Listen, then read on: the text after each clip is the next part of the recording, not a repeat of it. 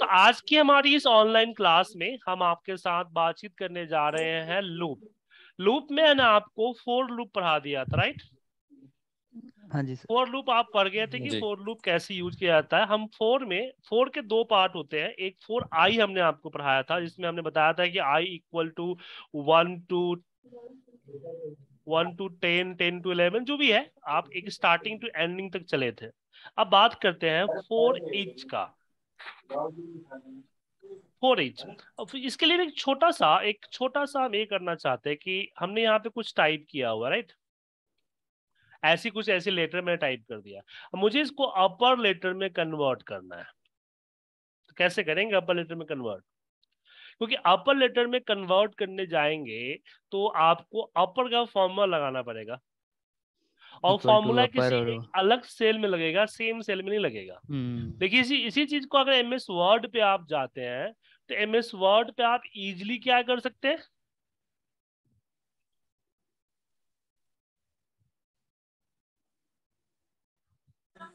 जी जी upper lower बना सकते हैं। जी जी।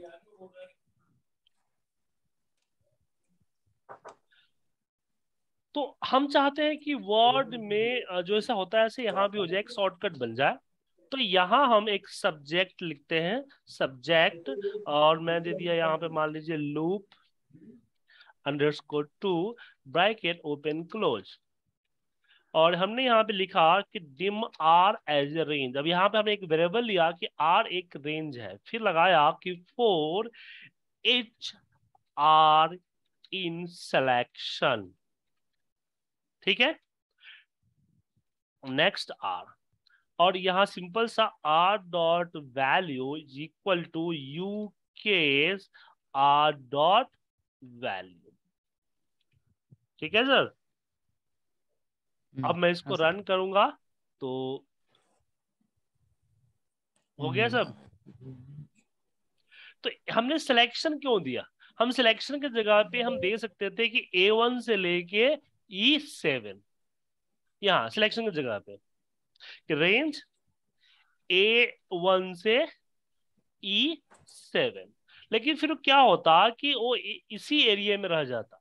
अब हमने एक टूल्स बना दिया। अगर हमने इसको सिलेक्शन कर देते हैं, यहाँ सॉरी ज़्यादा ही कंट्रोल जेड हो गया हाँ। अब मैं यहाँ पे अगर इसको इनके जगह पे सिलेक्शन कर दिया तो क्या होगा? सिलेक्शन करने के बाद, अब जैसे कि मैंने यहाँ पे सुजीत लिखा, रवि लिखा, कविता लिखा, और इसको सिलेक्ट करेंगे और माइक्रो में जाकर रन करेंगे। और रन करने के बाद क्या होगा?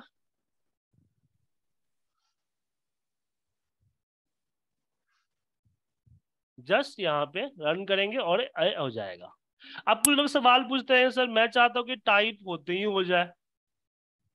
तो उसके लिए हमें इवेंट माइक्रो प्रोग्रामिंग करना पड़ेगा। क्या, सर? अब क्या होता है इवेंट माइक्रो? चलो, एक छोटा सा एग्जांपल दे देता हूँ आपको, ठीक है? जैसे कि मैंने यहाँ पे ले लिया वर्कशीट और यहाँ पे लिख दिया हमने चेंज चेंज किसका? टारगेट ऊपर आप देख पा रहे हैं कि यहाँ पे क्या हो गया? बाईवेल टारगेट एज रेंज मैं जहाँ टाइप करूँगा, वो क्या हो जाएगा? टारगेट हो जाएगा। तो सिंपल सा हमें यहाँ करना है कि target dot value equal to U case target dot value. Right? अब यहाँ हम लिखते हैं पूजा। मोहन। इंदर। हम्म, हो जा रहा है सर? हाँ सर। तो एक किस पे हुआ? इवेंट माइक्रो प्रोग्रामिंग पे हुआ। समझ गए? ये ये इवेंट क्या होता है? इवेंट नहीं नहीं सर। ये इवेंट में क्या इवेंट हुआ इवेंट का मतलब है जैसे आप नॉर्मली जो मॉड्यूल्स में माइक्रो बनाते हैं तो उसको आप माइक्रो में जाके रन करना पड़ता है ना? जी जी जी। या किसी बटन पे क्लिक करके या शॉर्टकट बनाया हुआ है तो शॉर्टकट पे क्लिक करके नीड टू रन। हाँ हाँ। बिल्कुल बिल्कुल। लेकिन यहाँ पे क्या होता है इवेंट में क्या होता है कि आपने एक ऑब्जेक्ट लिया कि भाई सीट थ्री पे जाओ वर्कशीट के चेंज पे मेरा माइक्रो रन दो तो ये आप इसको कभी भी रन नहीं कर सकते। ये रन ऑटोमेटिकली होगा कब? जब किसी वैल्यू पे चेंज होगा। किसके अच्छा अंदर? मतलब इस पे मतलब ये है कि पर्टिकुलर किसी शीट पे जाके फिर हम ये कर सकते हैं चेंज जी ऐसे करके है ना? जी जी। सीट हो गया ऑब्जेक्ट हो गया। मतलब कि किसी हम्म। एक्शन का रिएक्शन हम्म, समझ गए? अच्छा और ये बनाया कैसे आपने एक्शन मतलब कि ऊपर से सिलेक्ट करना है ये वर्कबुक और वर्कशीट यहाँ हाँ पे। ये मैं बताऊँगा इसके लूप के बाद यही चैप्टर आने वाली है तो थोड़ा सब्र अच्छा आएगा अभी मतलब। हम्म, ठीक अच्छा है। सर इसमें ऐसा कोई ऑप्शन है? क्या? हाँ सर इस इसके अंदर में कोई ऐसा ऑप्शन होता है कि जैसे हमने इसमें लिखा पूरे कैप्स में हाँ। है ना सारे अपर केसेस में और हाँ। उसमें प्रॉपर में हो जाए जैसे फ़र्स्ट है पी कैप्स में हो और बाकी के स्मॉल में हो जाए। देखिए इसमें प्रॉपर केस नहीं होता है। यू केस होता है लोअर केस होता है अपर केस होता है। हाँ इसमें बहुत सारे फॉर्मूले हैं जिसका इस्तेमाल हम कर सकते हैं। एक्सेल के फॉर्मूले भी कर सकते हैं। एक्सेल का जो प्रॉपर फॉर्मूला है उसको भी कर सकते हैं ना यहाँ पे। Application dot worksheet function dot proper आ गया सर हम्म। लगा सकते हैं फॉर्मूला समझे? ओके। हम्म हम्म ठीक लगा के बता दू क्या? एक बार दिखा दीजिए चल जाएगा कि ये।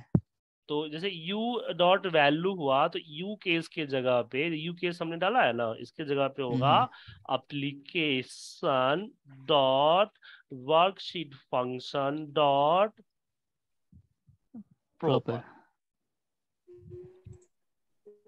proper और प्रॉपर में आर डॉट वैल्यू हो गया? हम्म। अब इसको मैं सेलेक्ट करूँ और सेलेक्ट करके रन कर देता हूँ।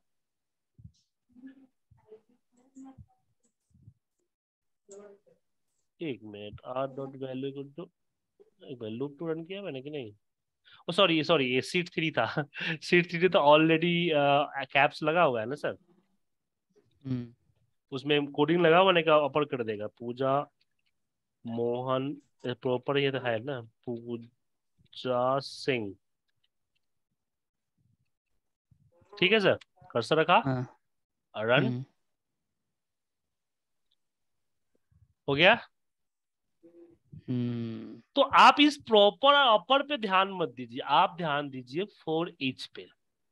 हम्म हम्म, हम्म, समझ गए? ठीक है सर हाँ सर अब जैसे कि मान लीजिए कि मेरे पास कुछ लिस्ट ऑफ़ डेटा है। अब मैं चाहता हूँ कि इसमें से जितने भी मोर देन 50 है उसका लिस्ट सी कॉलम में बन जाए। और मैं इसमें एक चीज़ है कि ऐसा कुछ करना चाहता हूँ कि जब जितना मैं सिलेक्ट करूँ उतना ही रन होना चाहिए। हालाँकि इसको लूप से कर सकते हैं हम बट यहाँ क्या होगा कि लूप इज़ द लिमिटेड कि भाई पूरा करना है या एक से दस करना है।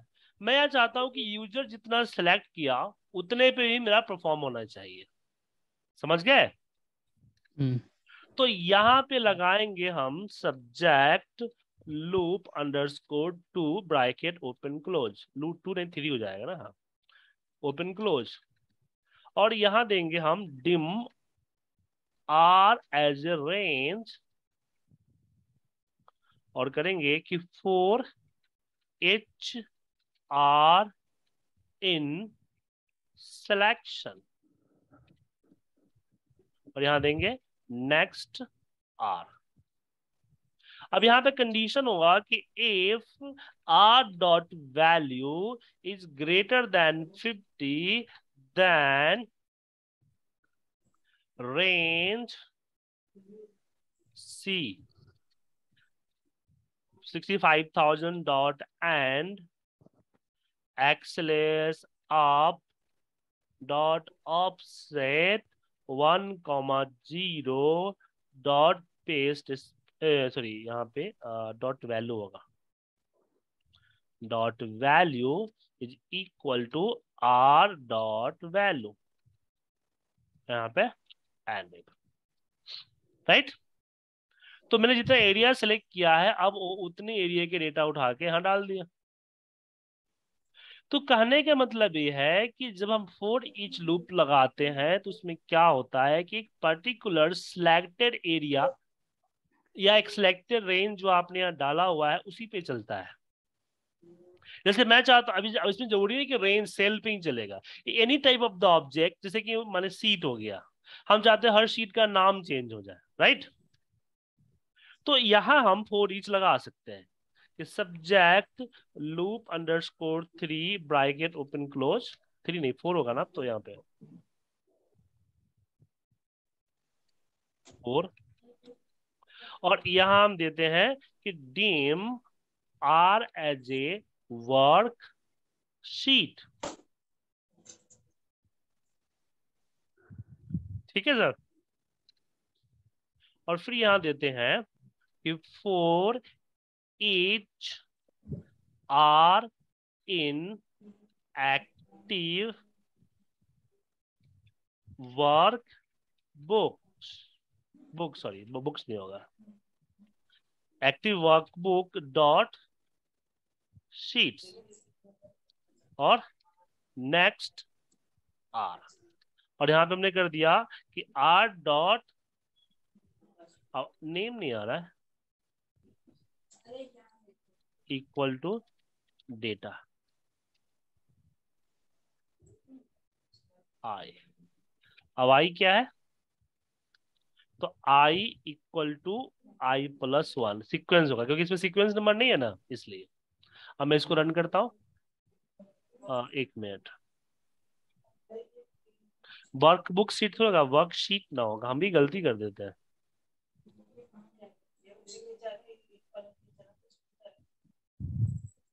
ठीक है, अब रन होना चाहिए।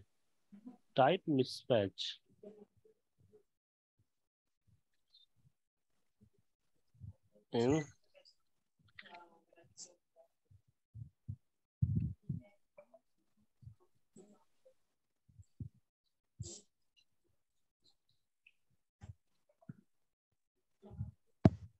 वर्कशीट वर्कशीट होगा शीट्स नहीं होगा।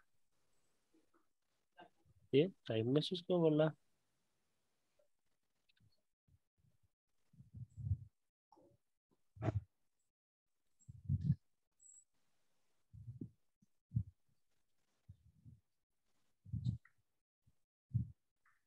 रहा बक्स शीट होगा तो इसका मतलब ये था गड़बड़ क्यों हो रही है?